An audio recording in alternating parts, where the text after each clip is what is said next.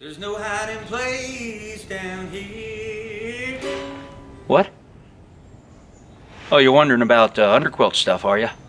That'll never end because underquilts are still the most mysterious part of a hammock system.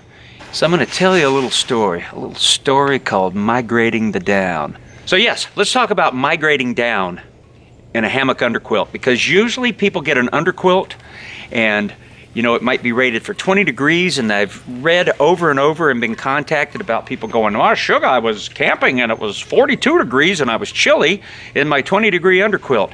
That could come down to setup, properly setting up your underquilt, but what a lot of people don't think about is the migrating of the down. Let me tell you what migrating the down is right now. So uh, let's take a look at what migrating the down is because I know you're curious because you're curious types. That's why you're here. And adjust my hammock and my underquilt. I reach underneath and I have plenty of down beneath me because I have migrated my down to that area. Now I want it up on the sides here a good bit of down, but where I'm gonna really get a chill if I do it all is under my buttocks and under my back.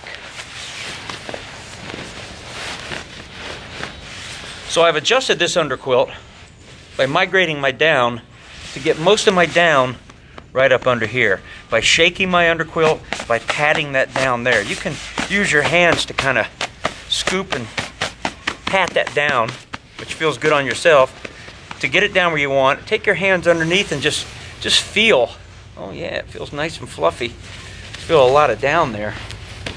And where I don't need the down so much is like in this area because my knee is way down below, about that far. So I don't need a lot of down there. So I can I can literally force that down with my hand while I'm in my hammock to get it down under there. I have just migrated that down to here. That's just a little way you can migrate your down while you're laying or lying in your hammock. So here we're going to take a look at my underquilt, Frankenquilt. All right?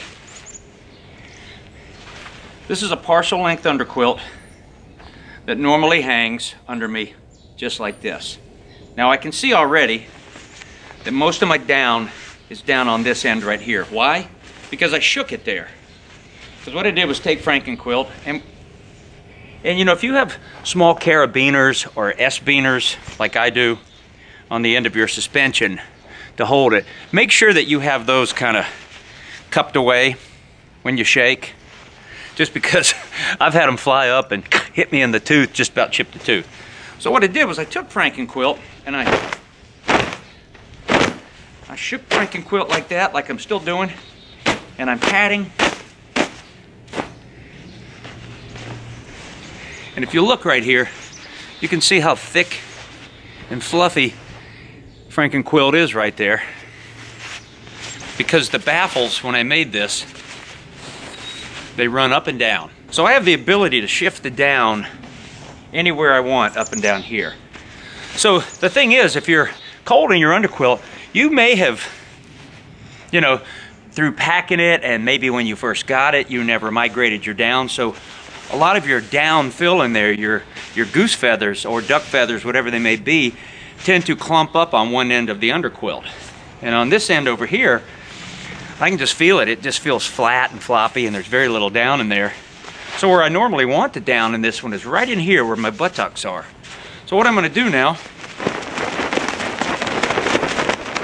I'm gonna start migrating that down. I grab that uh, little beaner. All right? Now it's already moving down the baffles here. And I can take it, kind of give it a good shake.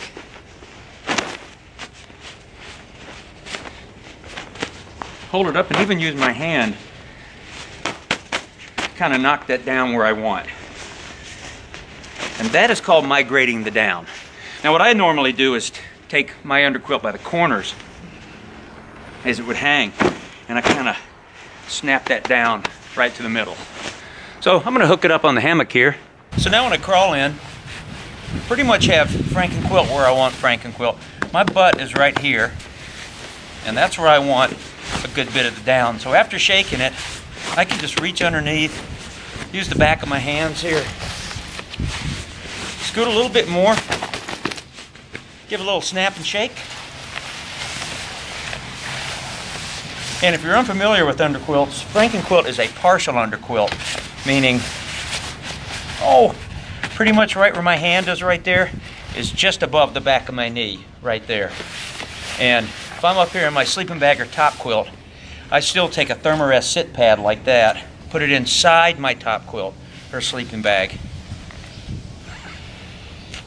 Very lightly inflated, just enough air to look like that.